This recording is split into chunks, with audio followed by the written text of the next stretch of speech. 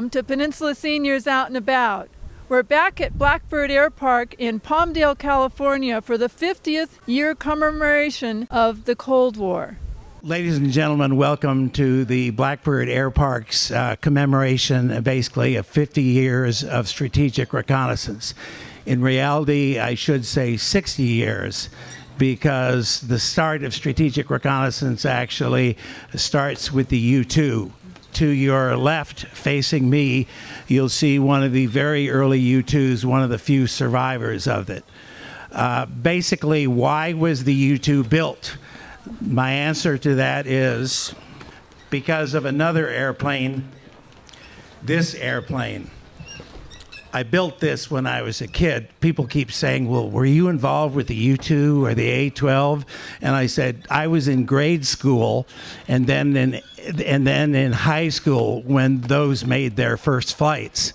Uh, nevertheless, in the early 50s, I actually did the duck and cover drill for real at my school in Richmond, Virginia. The reason being in the 1950s, everyone was really afraid that we were going to end in a thermonuclear mushroom cloud when the Soviets attacked us and we attacked them back. One question was we knew the Russians had the bomb, but the question is did they have the means to deliver it a long distance in a jet bomber and attack the United States? No one knew the answer to that question. We tried parachuting spies into the Soviet Union. They were captured and shot immediately. We tried floating balloons with clouds across the Soviet Union, and we got great pictures of the tops of clouds, and that was about all we got. So basically, in 1954, President Eisenhower decided okay, we need to basically go deep into the Soviet Union to see do they have bombers enough to attack us. So uh, basically, he said if we use Air Force airplanes flown by Air Force guys and overfly a foreign country that we're not at war with, we will be at war afterwards. If, on the other hand, the airplane is flown by a civilian, he's what they call a spy. So you line him up against a wall, shoot him, and lodge a protest, and then you go on. So he said, We really need this information. That was the genesis of the U 2. So the U 2, as you can see out there, has some very unusual features, uh, which it flew at altitudes up to 70,000 feet, which in those days, jet airliners were just coming along and they could reach 35,000 feet or so. Jet fighters can only reach about 50,000 feet. So they said if we fly this thing over the Soviet Union with really good cameras that can photograph a golf ball from 60 or 70,000 feet, we'll find out what we need to know. So as a result, they built a small fleet of these airplanes for cover. They called them the U2. U stands for utility, which means we'll just figure out a job for it to do. In reality, it was built to be a spy plane. The Air Force, by the way, I flew photo reconnaissance Phantoms in Vietnam, flew 169 missions, got hit three times because we flew at 2,000 feet rather than 70,000 feet. But nevertheless, the Air Force says it's a reconnaissance airplane. Don't call it a spy plane. No one can spell reconnaissance properly. So it's much easier to call it a spy plane. So if you hear me say spy plane, translate that into reconnaissance if it has U.S. Air Force on the side. Okay. Like I say, you can see the U 2 over there. It's got some really interesting characteristics. And uh, basically, we have here on the uh, podium here with us, uh, on your right is Mr. Lewis Setter who actually was one of the first instructor pilots for the early U 2s. He actually taught Francis Gary Powers to fly the U 2. In addition, uh, we have Tony Bevacqua, who flew the U 2 and then later flew the SR 71. So he got to fly the two premier strategic reconnaissance airplanes. Today, at the moment, we're going to ask him to talk about uh, the U 2. Actually, I'm just going to ask uh, Lewis a question and he can answer it and then uh, uh, speak about if anything else he wants to. Uh, Lewis, uh, looking at the U 2, uh, the first thing you notice about it, it's got really funny looking landing gear. You want to comment on that compared to what you were used to flying? Many of us in my day had flown airplanes with tail wheels.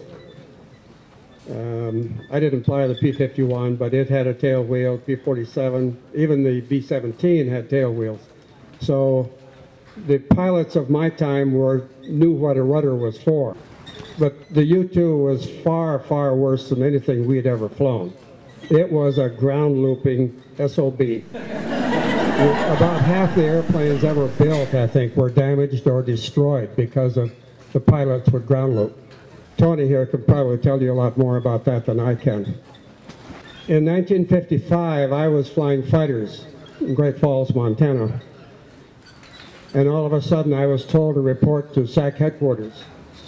General LeMay had been asked to set up a training group, and to make a very long story short, four of us pilots, all of whom had flown fighters in SAC and learned how to do celestial navigation, became uh, U-2 instructor pilots.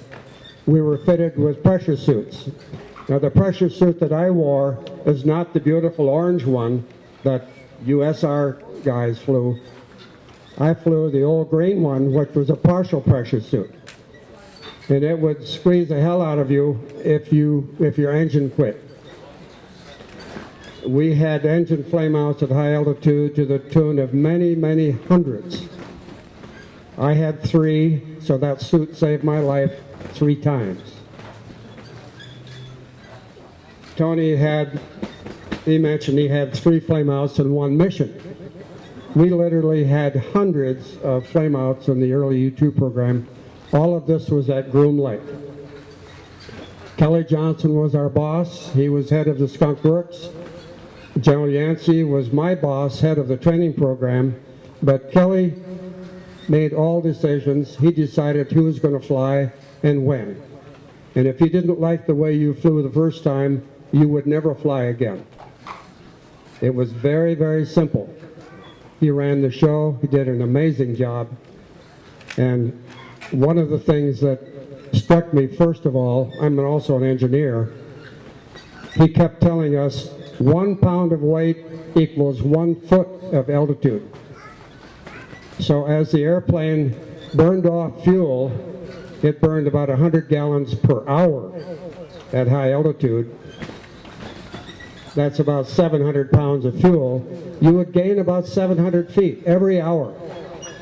The engine is at full throttle all day long, and you end up at a pretty high altitude. And one other point I want to make is you were cruising at an airspeed, and if you missed it by five knots too fast, you would get into compressibility. Airplane would start to shake. If you got five knots too slow, the engine would quit. I mean, with no warning at all.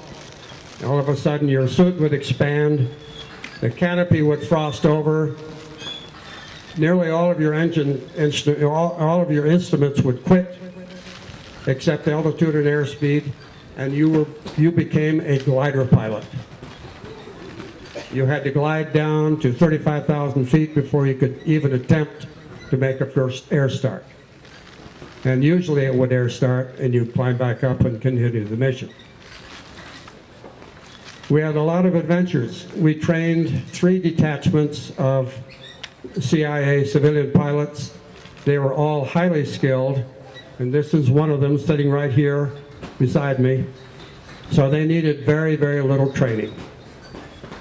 The navigation system they used was Dead Reckoning and Celestial. So that little bubble on the top of the U-2 over here, that's a sextant. To, to do celestial navigation, you have to have an autopilot, and my autopilot never worked when I flew the airplane. By the way, one last point. I'm the only survivor of the initial training group. Uh, General Yancey's still alive, but he has Alzheimer's. Everybody else has died. I never made a takeoff or a landing on a runway. I flew it off the lake bed all the time, every time. I never taxied the airplane. I, they'd put me in the airplane and hook me up to the oxygen system. The engine was already running. I'd push the throttle forward and take off.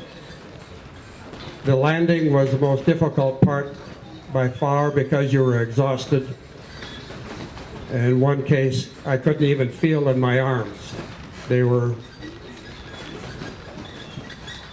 I had, I had to tell myself, move the wheel left two inches, right two inches, push the left rudder, and I was a basket case. They had to lift me out of the airplane. Say that I greatly admire all of you A12 and SR-71 air crew members and maintenance people and technicians. You did a truly amazing job. That actually is a great lead in to the other uh, person we have up here. As I say, Tony Bevacqua flew the early U-2s, but he actually then graduated, if you would, to the SR-71. But uh, uh, Tony, would you like to add anything to what Lewis said about your impressions of the U-2? Well, he must have been a damn good instructor because uh, I landed on a runway and I taxied. yeah, we. Um, I arrived at uh, Groom Lake from um, Turner Air Force Base, F-84, as my roommate at uh, a year before then. Well, not a year, but uh, six or eight months before that was Frank Francis Gary Powers, and um, Frank had the hours required by CIA, and uh, obviously was hired. Uh, whereas I was younger, had a lot less time, but I brought up my time enough to be able to get into the program as a blue suitor. So I was Air Force all the time, not in CIA. And so I was assigned uh, TDY from Turner at the time, going to the uh, Area 51, Groom Lake, Watertown, Paradise, whatever you want to call it. We slept in trailers. We had a kind of a community hall for everything other than um, ground school. And um, there was a cement uh, block uh, restroom situation of uh, uh, where everybody went to use the toilets and um, what two or three hangars? Yeah, two when he got there, and maybe three when I got there. They brought him in with an, uh, the U-2s all folded up into a C-124 and put together there, and then the test pilot for Lockheed would uh, accept it, and then our test pilot, Air Force type, uh, Hank Meierdierck at the time, I remember, uh, would test pilot, accept it, and then us students would uh, start flying it. And of course, since we're the only ones checking out, we graduated right from a student pilot to an instructor pilot. And um, I was fortunate enough, uh, if you want to call it that, uh, to stay on uh, from February till June when six of those for the Air Force were built. And uh, then from then on, uh, we, we flew those to Laughlin Air Force Base, Del Rio, Texas. And uh, from then on, Laughlin Air Force Base was the headquarters for U-2 and training. Uh, all the training was done from there. What happened to Area 51 after we left you can kind of guess as far as uh, getting built up and so forth for the A-12s, which were there. The SRs were not there. About two weeks of ground school, which is, there's no simulator, all single seat, no trainer, and uh, and so you soloed your first flight, as long as you took off. and so we started out, of course, on the dry lake, which uh, you did a lot of touch and goes and hopefully stayed down the line to get the idea of how you're supposed to fly it. And then there's a 6,000 or so um, a patch of asphalt that was a runway that um, you graduated to about the third flight, I think. And so uh, we took off that little runway, and then a couple missions later, we're doing high flight, so we're donning the partial pressure suit. That partial pressure suit, I described that as like being in a corset, where the full pressure suit uh, is like being a turtle in a shell. Uh, it does the same thing, prevent your blood from boiling when you uh, lose pressurization, so it keeps you alive. And um, uh, like Lou alluded to there, on my first high flight in the uh, U-2, and by the way, they would, uh, it, the thing was so secret, uh, or mission, uh, that they would um, make our routes over the most desolate areas of the USA. And so we really didn't even have, uh, most of the time, did not have a, an emergency field to land on if you did have to land away from home. And so um, I took off on this first high flight of mine, and uh, I think it was about a six hour mission. And shortly after arriving, uh, you know, really being above 65,000 feet or so at the time, I remember, um, I got a flame out.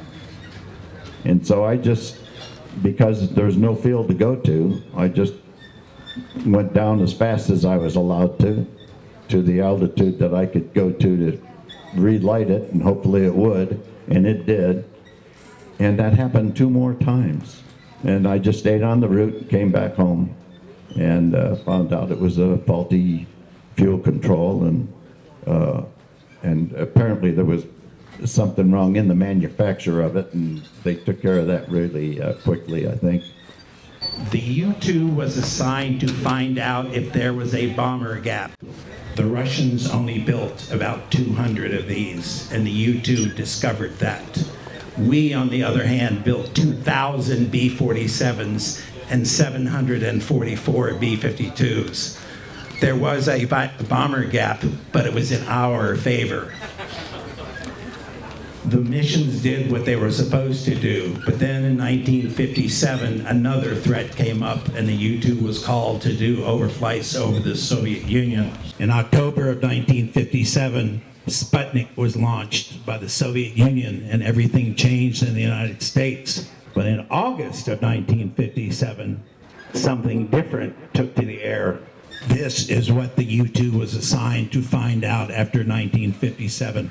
This is the Russian intercontinental ballistic missile, the Semyorka, which you, once it was launched, you could not stop it. The question was, how many ICBMs do the Russians have?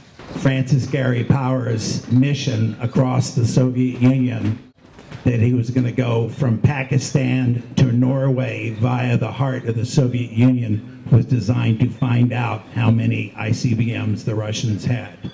But after the U 2 was shot down, the question was, what do we do now? The answer started in 1958 because they said if the U 2 will fly at 70,000, we're going to have an airplane that'll fly at 90,000. If it flew at 450 miles an hour, we'll build an airplane that'll fly over 2,000 miles an hour. And the U 2 was visible on radar, which is how they shot it down. So they said, in addition, we'll make it invisible to radar. That airplane is the A-12 and followed by the SR-71, the world's fastest airplanes as well as highest flying. Next, we're going to be talking to guys who were involved in the development of the top secret A-12. 924 you see behind you is actually the number one Blackbird. It made its first flight, which almost ended in a crash, on April 26, today's date, in 1962.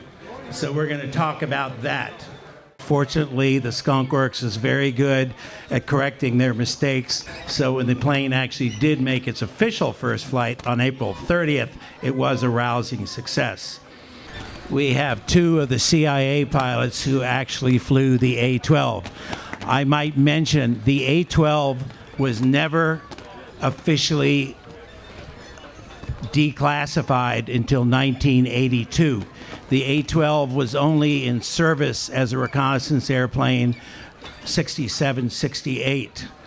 So it was then retired and put in storage here at Palmdale without anyone knowing what it actually was. There was a single seat spy plane.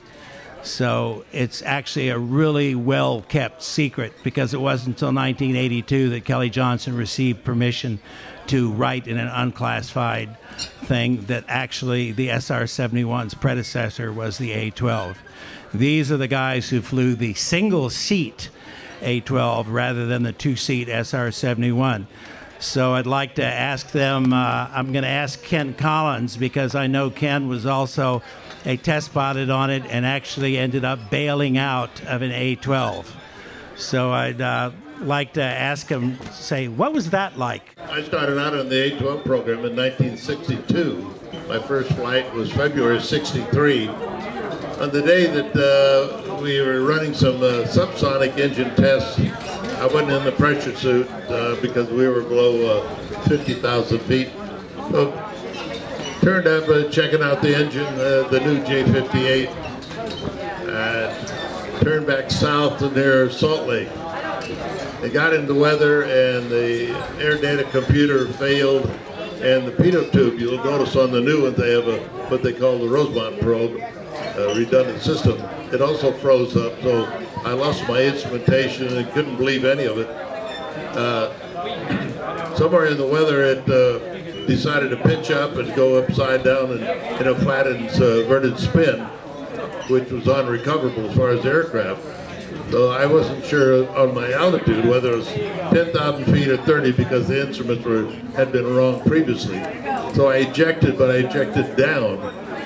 The ejection system in the A12 is excellent. If you're on the ground, it'll put you up in a 300 foot trajectory and fire the chute, separate the chute from you, and a slug will open up the uh, parachute, and you'll land very safely, which is one of the few ejection systems that does that. They later put them in the SR-71 and in the A-12. Well, upside down, I ejected straight down, and once I broke out of the weather, I look up and I see that I have a parachute, which is a, really a good thing. And so I'm looking at the ground to see where I'm going to land. It's all desert out there. Next thing I know, the parachute separated. And I said, you know, gosh, that's that's not a good thing. But what it was was the drogue chute, I wasn't thinking about that at the moment. And at 15,000 feet, the main chute opened. So obviously I'm here, so it must have worked out right. the uh, three guys in a, in a pickup truck come bouncing across the desert. They had my canopy in the back. They said, uh, come on, we'll take you over to your airplane. They see it over and it was burning. And I said, that's an F-105 out of Nellis. And I said, it has a nuclear weapon on board. And they said, we're getting out of here. Are you going with us? So four of us got in the front of their pickup truck. They dropped me off at Wendover Highway Patrol, Wendover, Utah. Highway Patrol, I made a phone call. They flew up security people and people up to start cleaning up the mess. But uh, that was all part of the engine testing anyway on the J-58 you know, I heard that I heard that story before, and I said the cover story he devised on the spur of the moment to keep people away from the airplane was better than any cover story I ever heard on the entire U2 program, because yeah, I can I can understand why the guy didn't want to now get near it. Ken, uh, I once saw a program where you commented on the very first time you saw the A12 and what you thought it looked like. The selection program for the A12, the CIA uh, had Air Force do the program selection. Uh, they didn't tell us what we were going to fly. They said it's a, a uh, sort of an astronaut program. It's a high altitude uh, vehicle. They didn't say it was an aircraft or anything. We never got to see a picture. We were never told what it was but we signed up anyway because we were very interested in it. Uh, I went out to uh, down to Burbank and got on an airplane, flew to Area 51, and they. Uh, Colonel Doug Nelson, who was the ops officer there, said, well, would you like to see what you're going to be working on? And I, of course, definitely interested. He took me out to the hangar. It was one of the big old hangars with the windows up top. And we walked through the people door, and the light was filtered through, and everything. The airplane was black. And it was just amazing. It looked like a spaceship. And we were, you know, when you saw it, you couldn't just amazed that this thing, you look at it today and you see it, just imagine in your own mind what it looked like when you walked in front of the filtered light. Just amazing aircraft. After they shut the A-12 program down, which for six years, uh, I was very fortunate in being able to fly the SR-71 for six years. You may recall a television series called Call to Glory with Craig T. Nelson playing the part of a U-2 test pilot who was given the opportunity to fly the SR. They actually filmed the scene across the runway at Site 2. It took them five hours to, to film a scene that ran 45 seconds on TV. But the actor that was playing the test pilot walked around the SR-71 with his hands in his pockets, kind of looking at it, saying, yeah, that's really kind of interesting. And I, so I was whispering, because we were watching from behind the cameras, and I said, I know people think test pilots are really Joe Cool, but in 1960, if you'd been flying the jet, the U-2, basically, to see an airplane that looked like a spaceship that can go 2,000 miles an hour, and you're going to be flying it, I said, we would not be just walking around saying, yeah, sure, I can do that. We ain't that cool. Mr. Murray, uh, would you like to add some comments to that? My name is Frank Murray, and I have the unique distinction of being the last guy to be trained to fly the A-12. Ken was in the first bunch. I was the last bunch.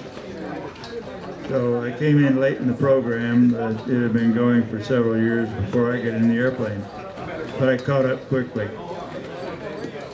Uh, I don't think I can add anything to uh, what's already been said about the A-12 development, only that I was a happy part of it at the very end of the training scheme, but still I was very happy to be there.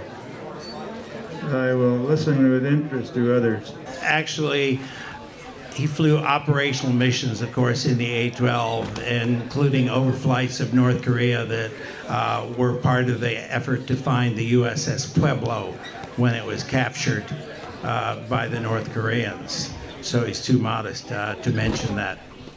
That is the single seat A12. They only built about a dozen of them. A number of them crashed because it was in the early days and they were retired in secret. And it's great that now uh, they're able they're able to honor them for what they did.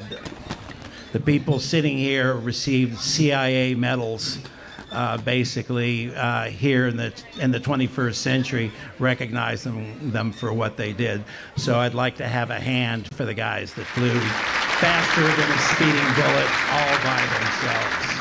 Uh, actually, the airplane that people are most familiar with, of course, is the SR-71, which is a two-seater. I'm the back seater. Uh, the second seat was in the position where the camera was on the A-12 behind the pilot and the sensors which were behind the pilot on the A-12 are scattered throughout the airplane. That airplane remained in service with the United States Air Force for over 25 years, the SR 71. It was only retired prematurely, many of us think, in 1990. So we're going to talk about the very first flight of the SR-71, and here to do that is Mr. Bob Gilliland, who's uh, down there in the wheelchair on the end. I'm going to run a brief video that shows that flight, which was December 22nd. It was on a day very much like this, snow-capped mountains in the distance, kind of cold and windy. He flew the SR 71 on its first flight solo with no one behind him. So he flew, I think that's the only flight I know of. I know of maybe one other where the SR 71 was flown with no backseater. So I'm going to show you that video.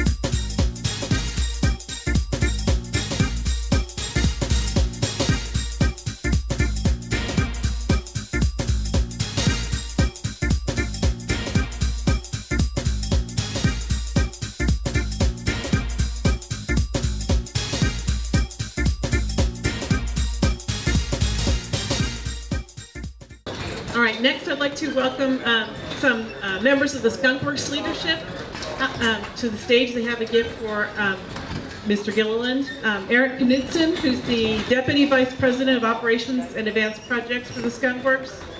Um, Steve Justice, who's the Director for Advanced Systems Development, um, the Skunk Works Advanced Design Group, and Kent Burns, who um, is the Program Manager and SR70, former SR71 Activation Chief Engineer, and also one of our board members.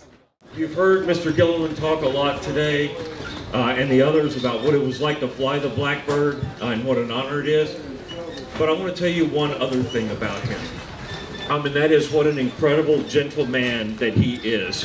While being uh, what it takes to be a test pilot, which is you have to be brave. Uh, there's a certain amount of daring to it. There's also a certain amount of calculation that goes with it. A certain amount of conservatism.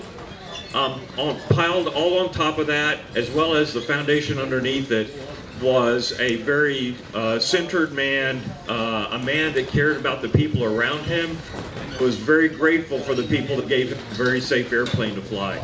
I got to know that by going out to dinner with him and uh, where, where did, where'd your son go? He'll be back? Okay. Um, and talk with him at length about what it was like growing up around, uh, around this man, uh, as well as how he handled himself throughout his career in the Air Force as a test pilot and as well as in private business. So Mr. Gilliland, um, it is with tremendous pleasure we give you something that is very special to us uh, and that very few people receive. Um, Eric, would you like to? This is the, the bronze skunk. We give this to people who demonstrate a, uh, a true uh, chapter of the skunk works itself, uh, what the skunk means, and, uh, and carry that with them and demonstrate it throughout their lives. So, Mr. Gilliland, you are absolutely the character of the Skunk Works, and it is such an honor to know you, sir. Uh, thank you very much for the honor and uh, this skunk I've got here. The rest of the SR-71 story is basically 25 years of doing, uh, of doing, keeping an eye on the nation, on the world's trouble spots at the request of national command authorities. Uh, I uh, basically never flew operational SR missions. I did that in the RF-4 in Vietnam. But I got to fly with BC Thomas here and know Ed Yeilding quite well. I, of course, am a backseater in the SR. And BC was one of the pilots I often flew with. In fact, I flew my last SR-71 flight with him. BC had a very distressing habit which when I flew with him once, I would hear an uh-oh, guess what? And I went, okay, I saw the master caution come light come on. I only have a couple master caution lights. I don't have any idea. So I'd say, so he'd say, oh, such and such. So I said, okay. So in the debrief, I said, you know, I don't really appreciate playing 20 questions. Is it animal or vegetable or mineral at Mach 3? So BC promised he would never do that again. The next mission, uh-oh, guess what? I thought we went over this and you weren't going to do that again. Oh, I'm sorry. Yeah, you're right. And all. So after that, he is trainable. He never did it again. But BC has more flying time in the SR-71 than any pilot, uh, over 1,200 hours. Uh, Ed Yeilding doesn't have quite that many hours. How many? 795. 85, 785 hours. The SR-71 is the only airplane in the world where pilots keep track of their time down to a tenth of an hour. Usually we'll say around 4,000 hours, something like that. With the U-2, with the SR-71, you, you, you track of it down to tenths of a minute. Now, many of the missions that they flew today still are a little sensitive for discussions. That's why when I showed you that video is at the Mildenhall Air Show because the SR-71, the super secret Blackbird, became probably the best air show airplane in the world. BC got to fly a number of those. as did Ed. But uh, I'd like to hand the microphone over to BC, and he's a man of few words, not really, but but just have him make a few remarks about flying the SR operationally and his great experience. Then I'm going to ask Ed, who flew the last flight setting the transcontinental speed record 64 minutes, LA to Washington. 64 minutes, I can't get to San Fernando from Palmdale. Yeah, so he did coast to coast, basically LA to Washington in 64 minutes. So he's going to talk about that. But first, I'll just ask uh, BC to just give a couple of reminiscences of what it was like flying it for over 1,200 hours.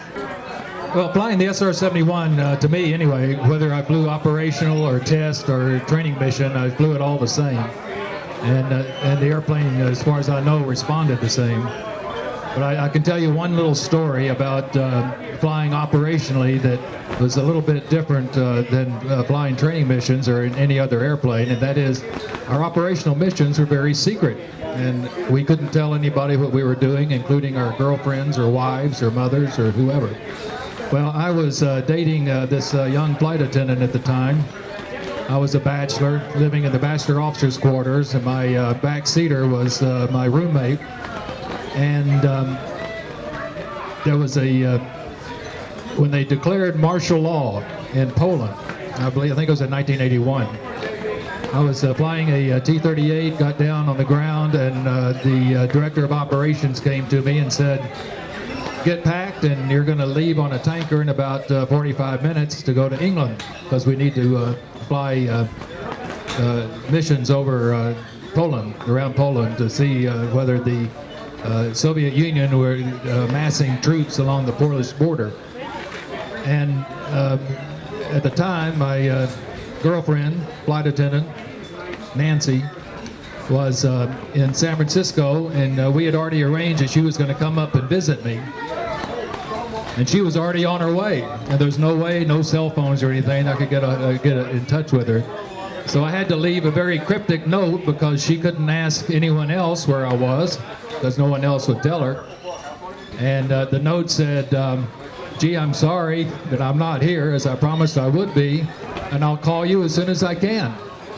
And uh, so then I uh, uh, rushed on off to uh, England, where Maury Rosenberg uh, got the honor of flying the airplane over, and he flew the first missions to determine uh, where the Soviet Union was at the time, and I got to fly the second. And then we decided to make a uh, permanent, uh, not not a permanent debt, but we decided to, to uh, or they decided to, we would then uh, fly out of Mildenhall. So it was a couple of weeks before I got back. And in the meantime, I had one of my friends go to my apartment, get all my clothes that I needed, and uh, ship it back on the next tanker. Uh, thing is, I was very concerned that she would not understand that that note didn't mean that I wanted to break up with her. It meant that I really was sorry I couldn't tell her where I was going and that I would be back someday.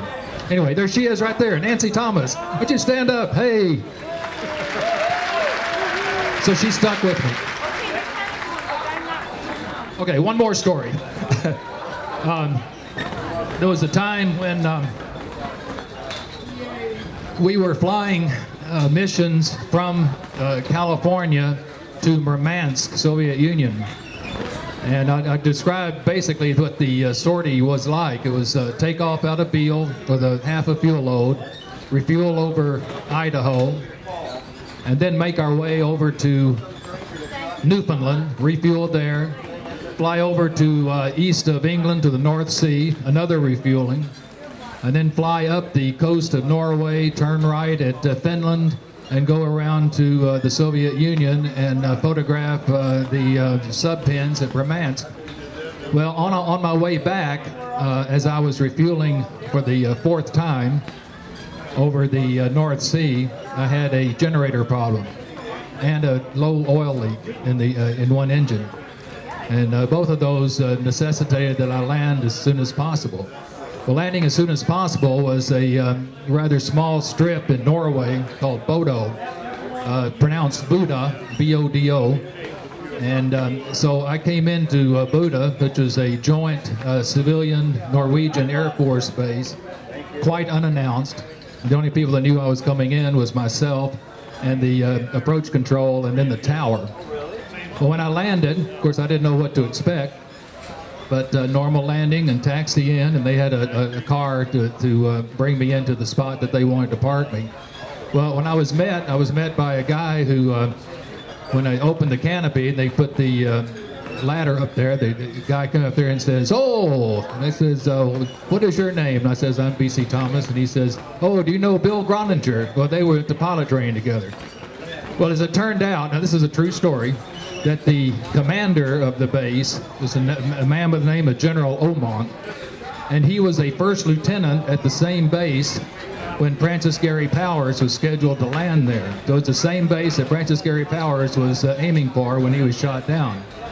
Well, what happened there was that the military uh, people at Bodo, when uh, Francis Gary Powers was flying his U-2, they knew that he was coming in, but the civilian authorities did not.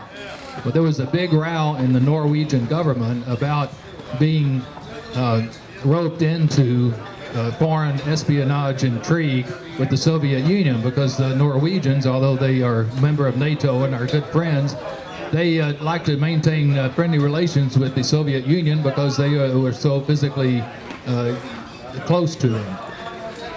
So the general, I didn't know at the time, but he told me later that he was very concerned because here was this spy plane, they called it spy plane, coming in and landing. He knew nothing about it, but he thought he was might be uh, blamed for it. So we, uh, he put us under uh, virtually house arrest. He uh, gave, uh, I had a first lieutenant F-104 pilot that was with, my, with me for three days. Never left my side, literally. And um, then uh, we met the uh, deputy ambassador, whatever they're called, uh, under ambassador. He came to the base. It was a real big deal because it had never been done. The first time that the SR-71 had landed in continental Europe. So they really didn't know how to handle us. And we were just there to do as, as they. Anyway, I, I took off that, uh, that morning about midnight, thinking I would be back about 10.30 or 11 in the morning. And uh, then they decided to uh, that we would go to uh, England and operate out of there for a while. So again, it was two weeks before I came back. So such exciting things like that happened uh, in the operational squadron that wouldn't happen in any other squadron. My name, my name is Ed Yeilding, and I had the honor of flying the SR-71 from, uh, I guess it was December of 1983 until the airplane retired in early 1990. And by the way, uh, my first flight in the Blackbird was with B.C. Thomas here. He was my instructor, great instructor. Had him for uh, simulators, and, and, then my first uh, flight in the Blackbird. Really an honor to fly with uh, B.C. Anyway, I flew operational missions out of Beale Air Force Base for four and a half years. And, and then in uh, 19, uh, December of 1987, uh, I had applied and was accepted to be a test pilot here at Palmdale. So we flew test missions in the uh, SR-71 Blackbird uh, from in 1988 and 1989 as a matter of fact, our uh, secretary is here with us, Joyce Baker, and her husband, Jim Baker. Joyce, would you raise your, your hand? she was a wonderful secretary for us and really enjoyed uh, test missions out of Palmdale. It was really exciting working with the uh, Lockheed uh, engineers, the Skunk Works. Then in late 1989, Congress voted to uh, retire the Blackbird, much to our disappointment but the Smithsonian asked if we would uh, bring an SR-71 to the Smithsonian Institution for display. And they said, well, since you're taking off from California, how about setting a transcontinental speed record as you bring the airplane to Washington? So I was fortunate to be the pilot, and then my RSO was JT Vida, a tremendous guy, really a, a great uh, RSO, wonderful friend and a wonderful uh, family man. he had more time in the Blackbird than any other crew member in history. Had 1,392.7 hours. And sadly, he, he got cancer uh, a year after we flew our test mission and passed away in September of uh, 1992. And we're uh, honored to have his uh, widow Sherry Vida with us. Would you raise your hand? So, uh, so on uh, March the 6th of 1990, uh, JT Vida and I briefed up our last SR-71 flight. We briefed in the wee hours of the morning of March the 6th, 1990. We, we took off at 4.30 in the morning California time, which was 7.30 in the morning in Washington where we're taking the airplane. They wanted us to do a transcontinental speed record, uh, coast to coast, so we flew out over the Pacific Ocean and air refueled. Fuel was going to be real tight for our flight across the across the country, so we had to move our start climb point to the east uh, enough so that we would arrive in Washington D.C. with enough uh, fuel to land safely. so we refueled in the pitch darkness 200 miles out over the Pacific, which was no problem because we had refilled at night many, many times. We uh, got a full load of fuel, lit the afterburners, and got a 200 mile running start. We uh, passed the west coast, accelerating through Mach 2.5.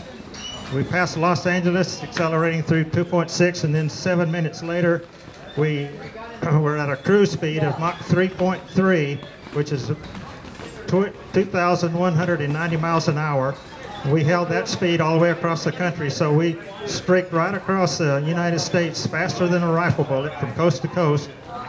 During that flight, uh, we thought, thought about what a great country we have, made great by the hard work, dedicated hard work, sacrifices, courage, and prayers of our forefathers. and then JT and I thought about how fortunate we were to fly that great, great airplane, the SR-71, and how fortunate we were to serve with hundreds of other highly dedicated men and women uh, who designed, maintained, supported, and flew the Blackbird uh, over its 25 years of uh, service during the Cold War. The Blackbird, the Blackbird performed a vital, a very important, vital mission through 25 years of the Cold War, and we felt so fortunate to have been a part of that uh, vital service uh, with the Blackbird when we crossed the East Coast, no airplane has ever flown from coast to coast across the United States faster than the Blackbird did that day. So the official coast to coast speed record, 67 minutes and 54 seconds.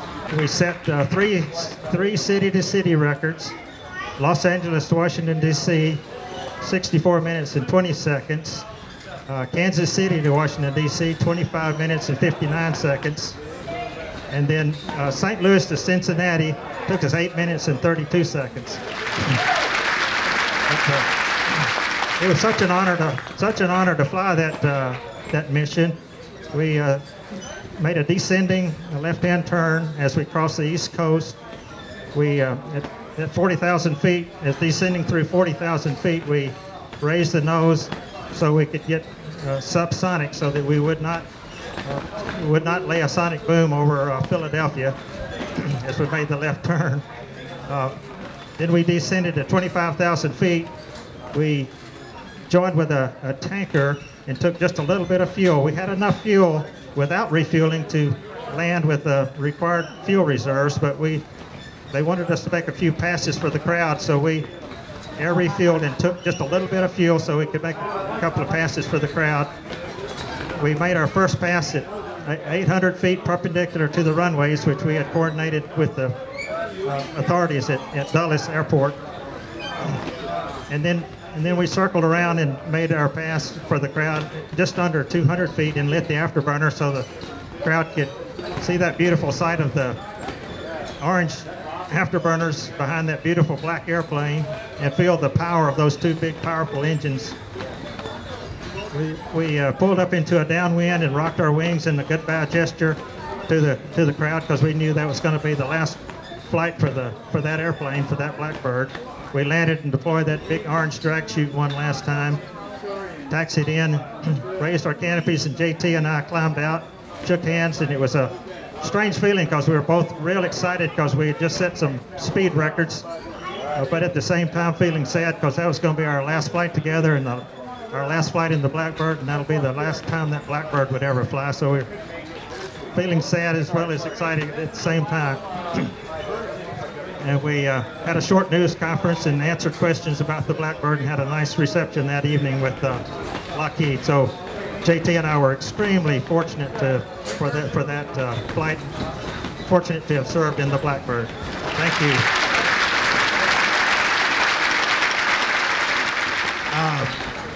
Actually, the the SR-71, of, take, of course, was taken out of operational service after the record flight. Uh, however, NASA continued to fly the airplane for a couple of more years, uh, and the last flight of a Blackbird actually was uh, in October of 1999. It was a NASA uh, airplane, and it flew over the crowd uh, at Mach 3 at 75,000 feet, uh, streaming gas so the people on the ground could see it. Because normally you cannot see an SR-71, it's so high up. But by dumping gas, they created a contrail, and the contrail was moving three times as fast as any contrail you've ever seen. So I'm sure there were people that thought it was actually a UFO, it was an invasion from Mars but uh, actually it wasn't. Then the sonic boom hits you about 70 seconds after the airplane has passed over you. I was at Edwards for that, and that, that was pretty interesting. They were going to try and do it the next day, but the airplane broke. So that ended up being the last flight of the SR-71. So all of the airplanes now, at one time, they were going to scrap all the airplanes except for one at the Smithsonian and one at the Air Force Museum in Dayton. However, thanks to Senator John Glenn, he said, no, I don't think that's a good idea. The Air Force agreed with a, a powerful senator like him. So now all the airplanes are now on display at, uh, at museums throughout the world. All of them are in the United States except for one in England as a thank you to England for allowing us to base the SR at Mildenhall. So uh, actually there's still a fair number of airplanes. Unfortunately, they'll never fly again. Nevertheless, it's still the fastest airplane uh, in the history of aviation and probably will remain that way. Uh, so it's, it's truly an accomplishment. The uh, guys that flew the airplane here, like I said, it was created during the Cold War in order to basically find out things because we didn't have satellites then and they were blowing up on the pad all the time. So basically, they were created to basically find information the country badly needed, and they accomplished it in spades. The U-2, of course, is still flying today. We'll see for how much longer, but nevertheless, the, the motto of reconnaissance is alone, unarmed, and unafraid. We had a question mark after the unafraid, but actually all the people that were here represent the guys that flew those airplanes in harm's way. So I think uh, I'd like to give them all a big hand.